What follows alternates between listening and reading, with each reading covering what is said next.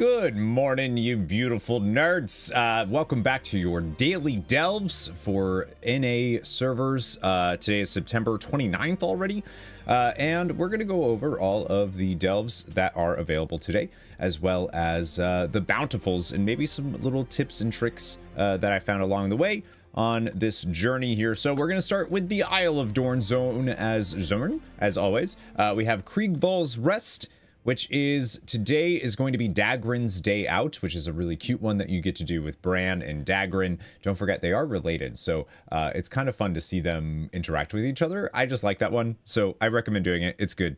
Uh, Fungal Folly today is actually Explorers Competition, which I have only seen maybe one other time. Uh, so this is kind of a rare one. Highly recommend getting that done. Uh, Fungal Folly Explorers Competition. It's really cool. There's also a fishing you have to fish, and there's a trainer in the delve that will teach you to fish, uh, which is which is which is neat.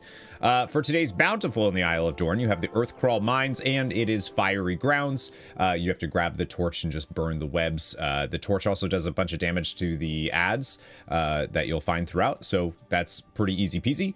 We also have the Ringing Deeps. Uh, which is Waterworks. The story is Stomping Some Sense. Uh, that one's actually really easy. You can skip a lot of mobs. You can fill up on the gears that you need by using the Stomp on dead Kobold bodies uh, way before you ever actually even get to the end of the delve. So you can skip a whole lot of mobs in that one.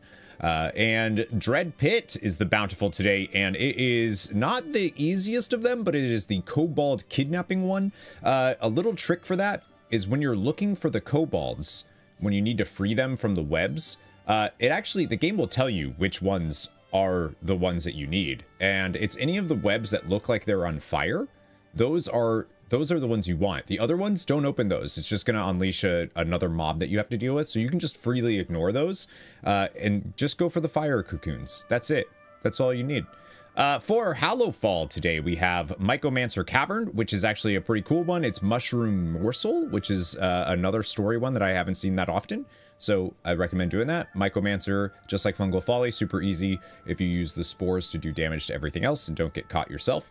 Uh, Skittering Breach is the Bountiful, and in my opinion, this is the hardest delve in the entire game. This scenario is the hardest, is one of the hardest.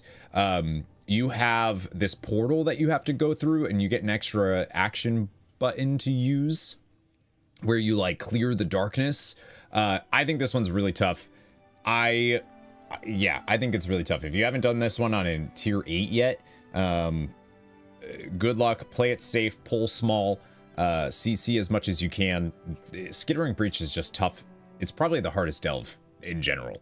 Uh, then we have the Sinkhole, which again is one of those underwater ones. Uh, this one is Lurking Terror, super easy. I think the last boss is incredibly easy for this one. So if you're having trouble staying alive versus uh, these tough bosses like Waxface and whatnot from Waterworks, the Sinkhole is a pretty good, uh, a pretty good alternative.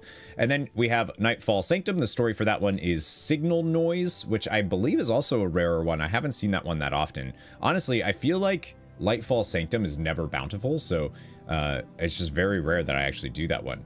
Spiral Weave today in Azj-Kahet is Strange Disturbances. It's the Puppet Master stuff. We've seen it all the time. It's probably the most popular delve uh, scenario in Spiral Weave.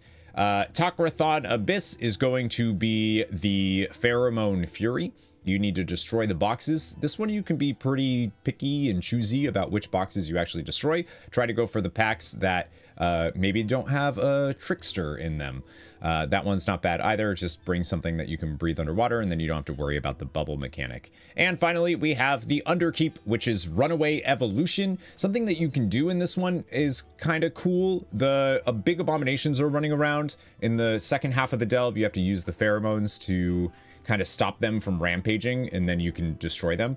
Uh, but when they're running, if you bring mobs into their path, those those runaway abominations will actually do an incredible amount of damage to those mobs. So you can group up a big pack, put them right in front of the abomination, and the abomination will just come through and kill them all. So really easy. Uh, there's a couple delves that are real stinky. Skittering Breach being the bountiful today with that scenario is kind of is kind of rough. Uh, but best of luck. You got this. Keep on delving. And uh, see you in the next one. Never give up, never surrender. Bye, friends.